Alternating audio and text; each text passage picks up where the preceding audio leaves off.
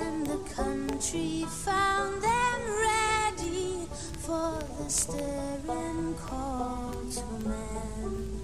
Let no tears add to their hardship as the soldiers pass along.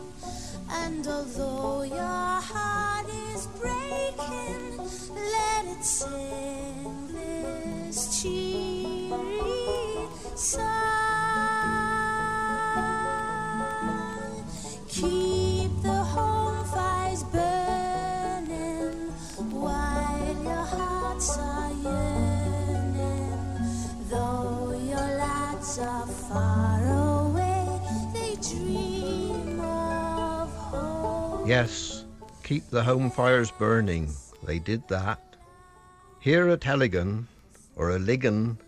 as it is known in our villages, my uncle, William Guy, was working as a gardener when war was declared in 1914.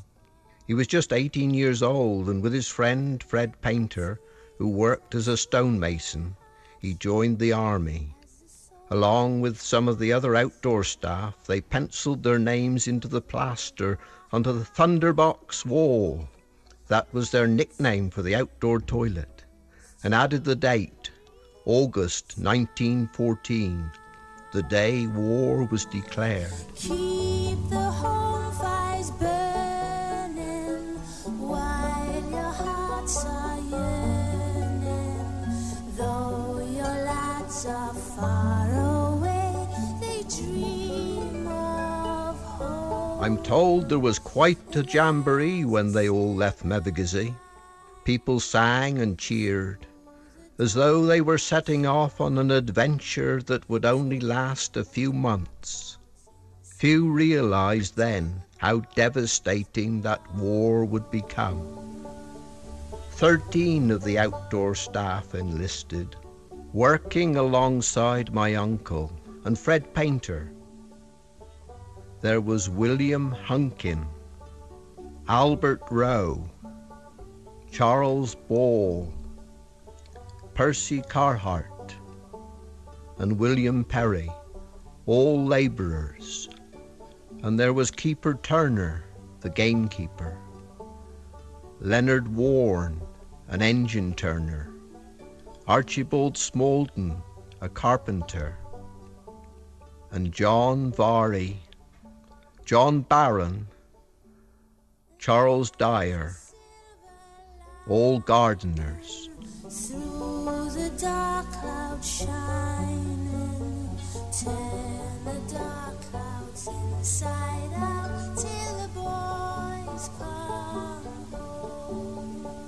A Song for Will is a story that tells of the sacrifice that Will, Fred, and those brave men of Cornwall made.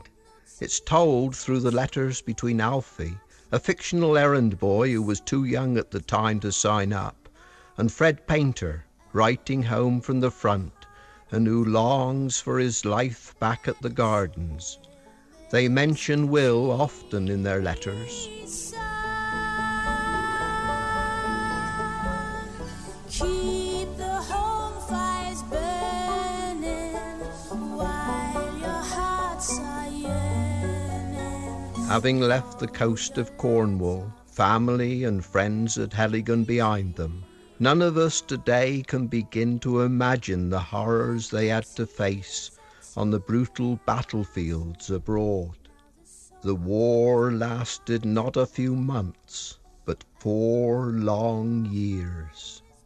Many didn't come back.